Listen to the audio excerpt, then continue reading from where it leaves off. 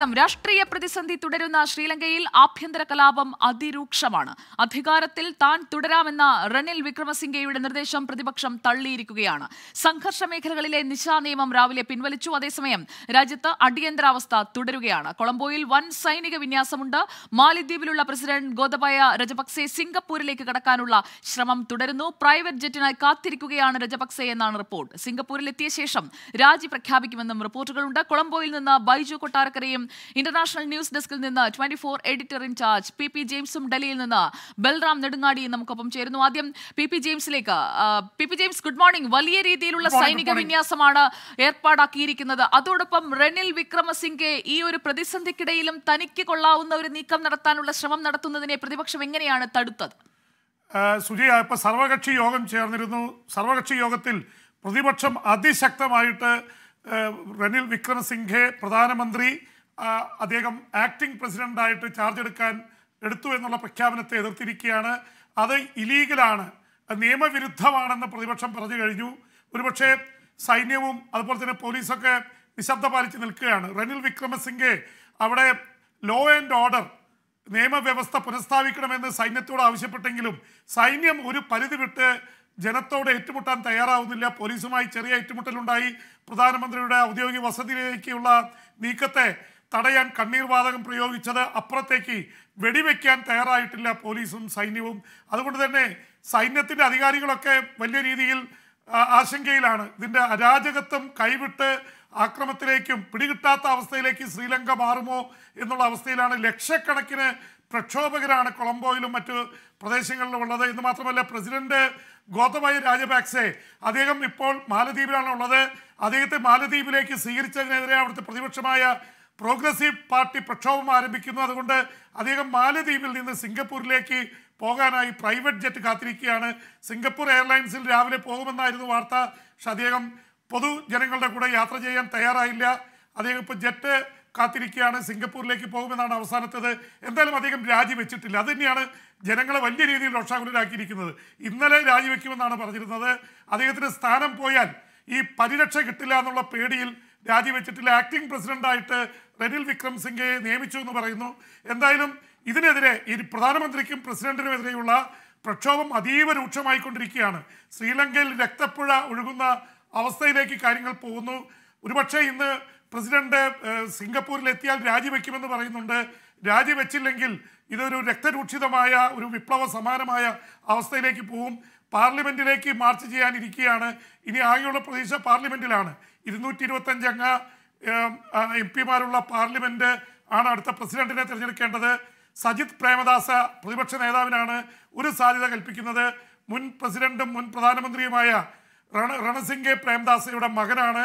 അദ്ദേഹം എല്ലാ വംശജരുമായിട്ട് ബന്ധം പുലർത്തുന്ന ആളാണ്. അഴിമതി ആരോപണങ്ങൾ ഉണർന്നിട്ട് ഉയർന്നിട്ടില്ല. പക്ഷെ അദ്ദേഹത്തിന് അമ്പത്തിമൂന്ന് എം പിമാർ മാത്രമേ ഉള്ളൂ സുജി. അതുകൊണ്ട് അദ്ദേഹത്തിന് ഇപ്പോൾ ഭൂരിപക്ഷമില്ല. രാജപാക്സയിൽ നിന്ന് നാൽപ്പത്തിമൂന്ന് എം പിമാർ നെടുക പിളർന്ന് എത്തിയിട്ടുണ്ട്.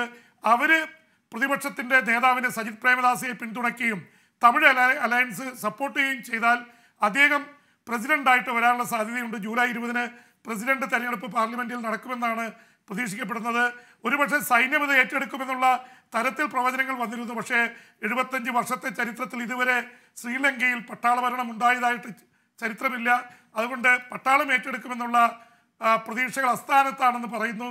വലിയ രീതിയിലുള്ള പ്രശ്നത്തിലാണ് ശ്രീലങ്ക. വീണ്ടും എത്താം പി പി ജെയിംസിലേക്ക്. ഇപ്പോൾ പി പി ജെയിംസ് സൂചിപ്പിച്ചതുപോലെ ശ്രീലങ്കയിൽ പ്രതിപക്ഷം റനിൽ വിക്രമസിംഗെ ആ, യുടെ ആക്ടിംഗ് പ്രസിഡന്റ് സ്ഥാനത്തെ പോലും എതിർത്തു നിൽക്കുന്ന സാഹചര്യം മാൽദീവ്സിൽ നിന്ന് സിംഗപ്പൂരിലേക്ക് പോകാൻ പ്രൈവറ്റ് ജെറ്റ് കാത്തിരിക്കുന്ന ഗോതബായ രജപക്സെ സുരക്ഷിത സ്ഥാനത്തെത്തിയതിനു ശേഷം രാജി എന്നുള്ള ഒരു തീരുമാനത്തിൽ ഗോതബായ രജപക്സെ ഇങ്ങനെ നിൽക്കുമ്പോൾ എന്താണ് ഗ്രൗണ്ട് റിയാലിറ്റി കൊളംബോയിൽ? ബൈജു കൊട്ടാരക്കര. പുതിയ ആദ്യം തന്നെ പറയട്ടെ ഏറ്റവും ആദ്യം പ്രധാനമന്ത്രിയുടെ കൊട്ടാരത്തിലേക്ക് അല്ലെങ്കിൽ പ്രധാനമന്ത്രിയുടെ ഓഫീസിലേക്ക് കയറിയ വാർത്താ സംഘം ട്വന്റി ഫോർ ന്യൂസിന്റെ വാർത്താ സംഘമാണ്. എല്ലാ എല്ലാ പത്രക്കാർക്കും എല്ലാ മാധ്യമ ദൃശ്യ മാധ്യമങ്ങൾക്കും എല്ലാം ഇന്ന് രാവിലെ പതിനൊന്ന് മണി മുതലാണ് അവിടെ പ്രവേശനം അനുവദിച്ചിരുന്നത്. പക്ഷേ ട്വന്റി ഫോർ വാർത്താ സംഘം ഏഴ് മണിക്ക് തന്നെ അതിനുള്ളിൽ കയറാൻ പറ്റി. അത് എങ്ങനെയാണെന്ന് ചോദിച്ചാൽ അത് അങ്ങനെയാണ്. എന്താണെങ്കിലും ശരി നമ്മൾ അവിടെയുള്ള എല്ലാ വിഷ്വൽസും നമ്മൾ കാണിച്ചു. അതിനകത്ത് ഈ പറയുന്ന റെനിൽ വിക്രമസിംഗയുടെ ഓഫീസിലേക്ക് ഈ നാട്ടിലെ ജനങ്ങൾ ഇന്നലെ എരച്ചു കയറുന്ന ആ കാഴ്ച നമ്മൾ എല്ലാവരും കണ്ടതാണ്. പട്ടാളം അവരുടെ മുന്നിൽ കീഴടങ്ങി. പട്ടാളം കീഴടങ്ങിയത് മാത്രമല്ല അവസാനം പട്ടാളക്കാർക്ക് അവർ ബിസ്ക്കറ്റും വെള്ളവും ഒക്കെ കൊടുത്താണ് സന്തോഷത്തോടു കൂടിയാണ് പട്ടാളക്കാരെ അവിടുന്ന് വിട്ടത്.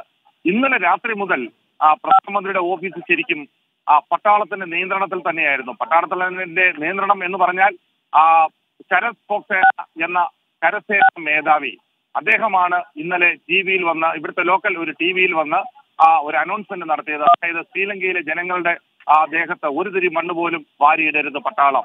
അത് ജനങ്ങൾക്ക് വളരെയധികം ആശ്വാസമായി.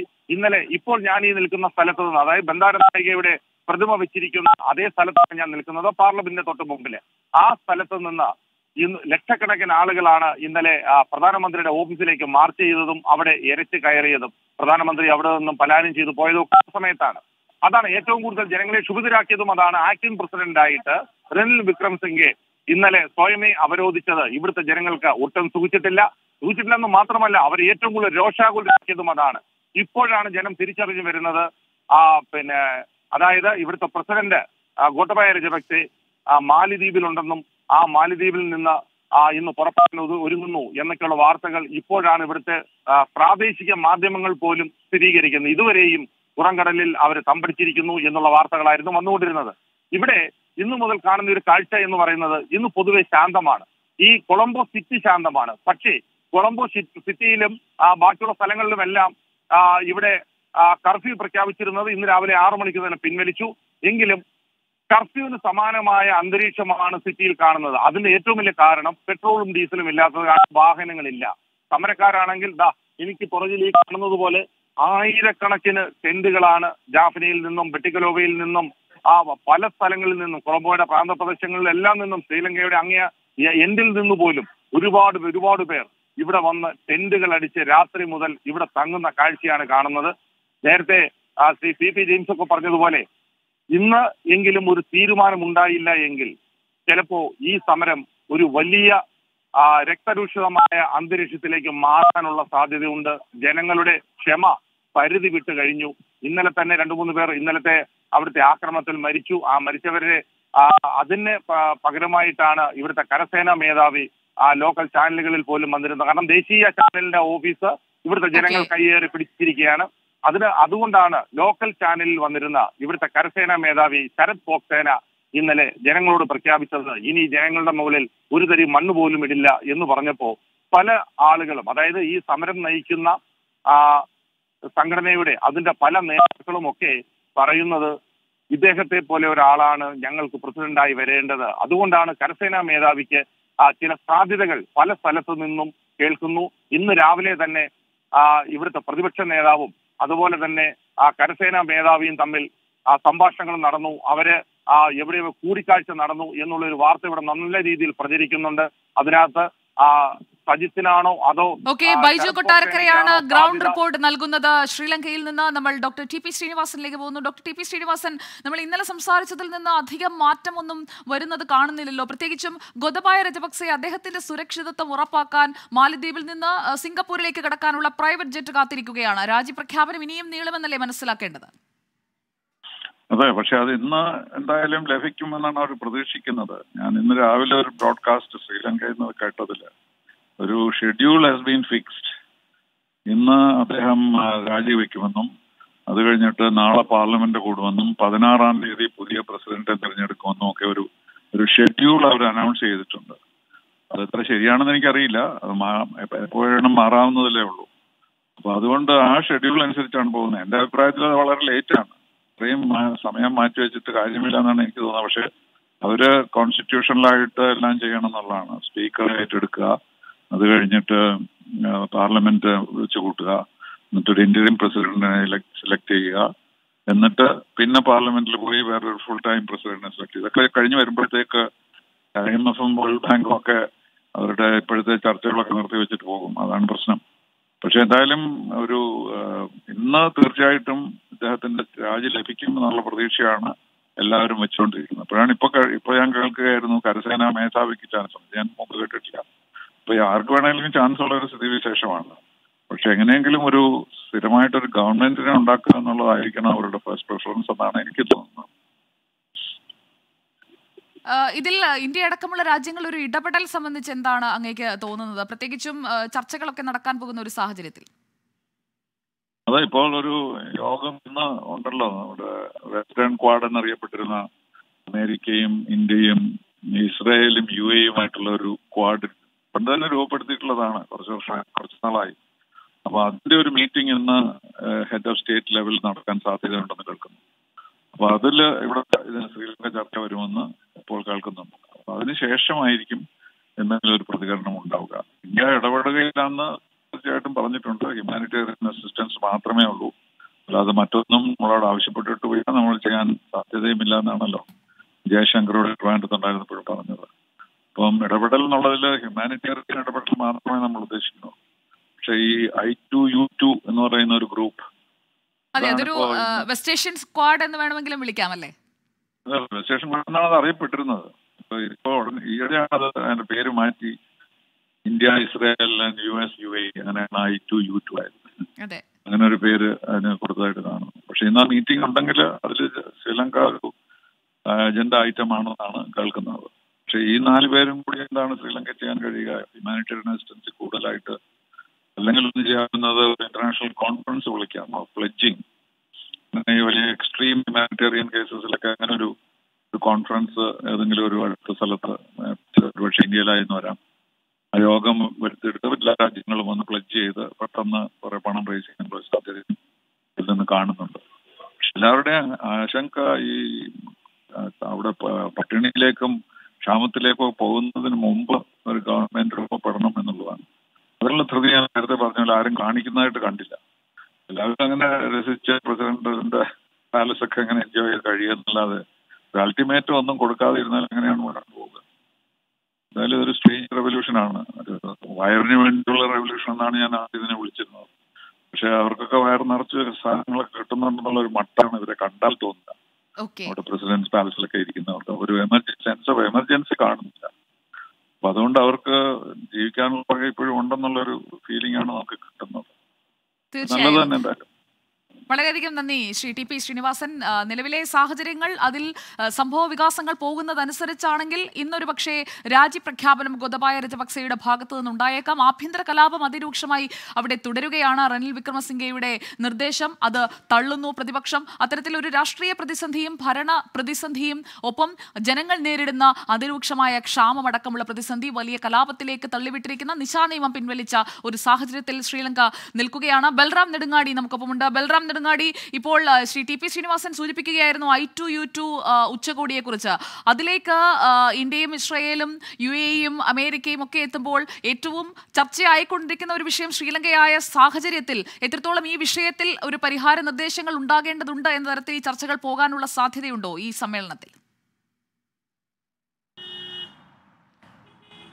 സുജയ പാർവതി കഴിഞ്ഞ ദിവസങ്ങൾ വിദേശകാര്യ മന്ത്രാലയവുമായി ബന്ധപ്പെട്ട വൃത്തങ്ങൾ ഉന്നത വൃത്തങ്ങൾ ഈ യോഗത്തിൽ ശ്രീലങ്ക ഒരു പ്രധാന അജണ്ടയല്ല എന്നാണ് വ്യക്തമാക്കിയത്.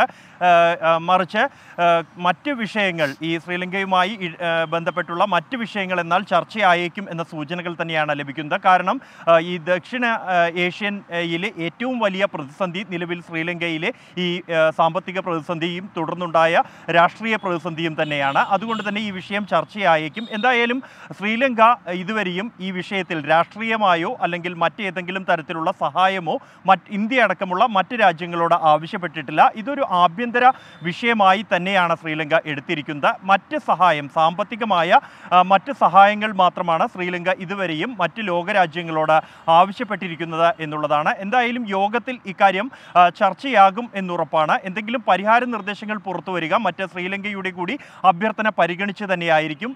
ലോകരാജ്യങ്ങൾ ഇന്ത്യയടക്കമുള്ള ഇന്ത്യ അടക്കമുള്ള ലോകരാജ്യങ്ങൾ ശ്രീലങ്കയിലെ സാഹചര്യം സസൂക്ഷ്മം നിരീക്ഷിച്ചു വരികയാണ്. അതിനിടെയാണ് ഇപ്പോൾ U N secretary general Antonio Antonio ഗുട്ടറേസിന്റെ പ്രതികരണവും ഈ വിഷയത്തിൽ പുറത്തു വന്നിരിക്കുന്നു. ശ്രീലങ്കയിലെ ഈ പ്രശ്നങ്ങളുടെ മൂല മൂലകാരണം അതോടൊപ്പം തന്നെ ജനങ്ങളുടെ ദുരിതങ്ങളും അഭിസംബോധന ചെയ്യപ്പെടണം എന്നാണ് അദ്ദേഹം അഭിപ്രായപ്പെട്ടിരിക്കുന്നത്. കൂടാതെ ഇക്കാര്യത്തിൽ ശ്രീലങ്കയിലെ നേതാക്കൾ എല്ലാ രാഷ്ട്രീയ പാർട്ടികളും തന്നെ ഇക്കാര്യത്തിൽ സമവായം ഒരു ഐക്യ അഭിപ്രായത്തിലേക്ക് പ്രതിസന്ധിയിലേക്ക് എത്തണമെന്നും ജനാധിപത്യവും സമാധാനവും പുനഃസ്ഥാപിക്കാൻ ആവശ്യമായ നടപടികൾ ഉണ്ടാകണം എന്നുമാണ് അദ്ദേഹം ആഹ്വാനം ചെയ്തിരിക്കുന്നത്. ഇത്തരത്തിൽ ഈ ഈ മാസം ഇരുപതോടുകൂടി പുതിയ സർക്കാർ ഉണ്ടാകുമെന്നും അതിനുശേഷം ആവശ്യമായ സഹായങ്ങൾ എത്തിക്കാം ആവശ്യപ്പെടുകയാണെങ്കിൽ എത്തിക്കാമെന്നുമാണ് ഇന്ത്യയുടെ നിലപാട്.